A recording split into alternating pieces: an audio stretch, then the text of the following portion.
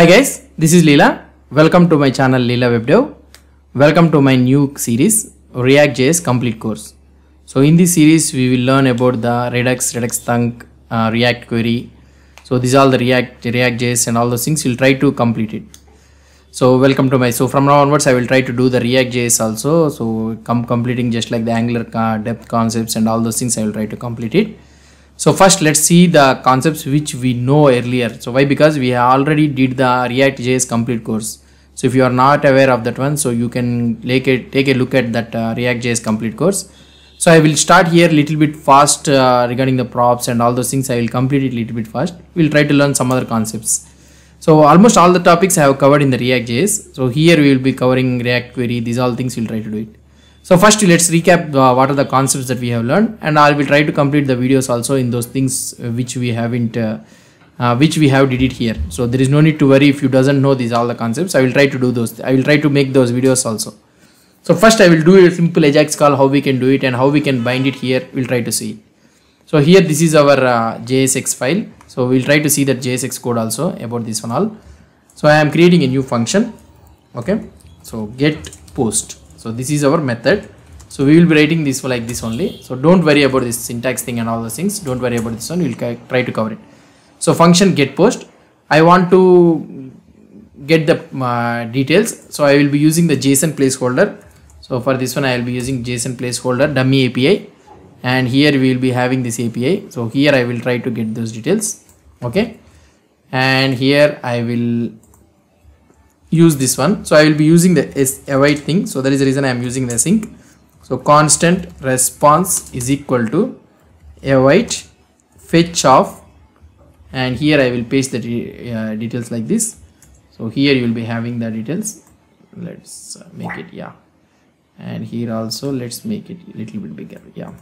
So this is our response. And here constant post is equal to we can make it a singular post is equal to await response dot json. So we got the response data. Now what i can say is so here i can have constant post comma set post is equal to we need to use the use state.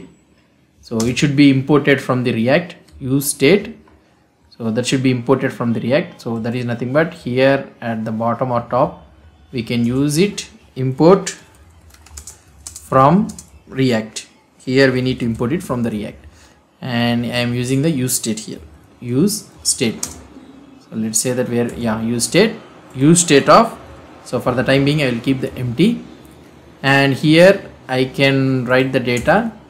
So set post of that post data. So whatever the post details we are having it i am posting it.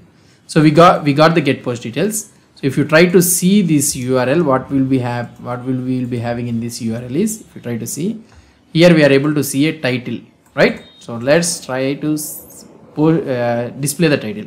So in order to show the title what we need to do is so here i can write something like div and here i can write the title like this and here we need to use a single rows not the double braces.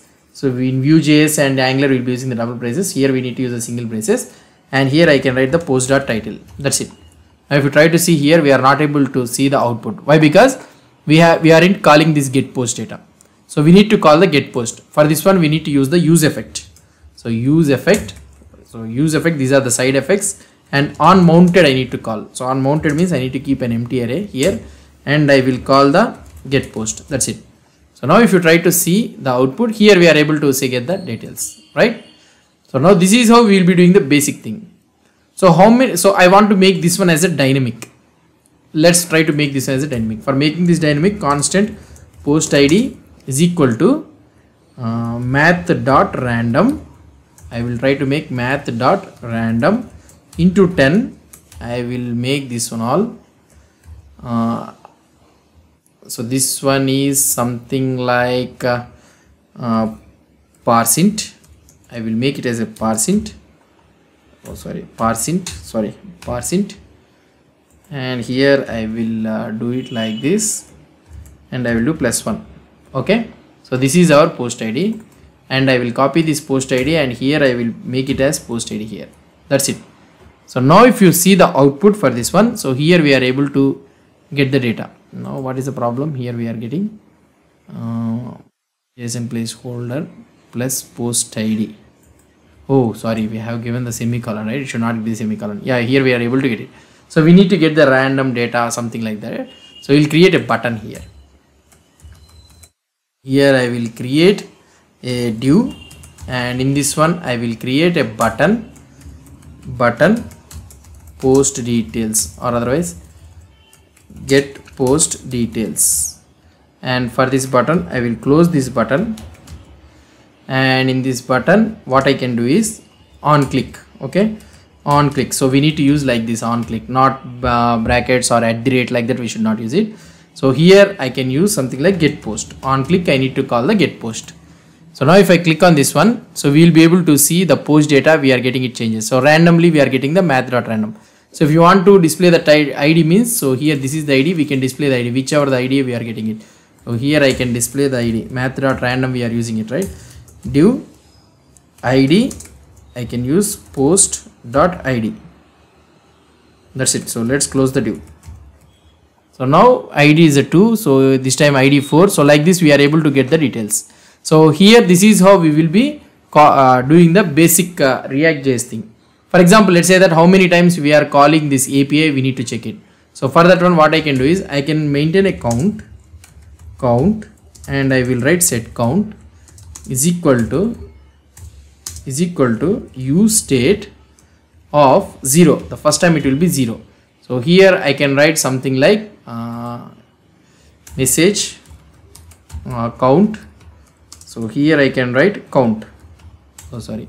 Inside i need to write the count. And i will close the do okay?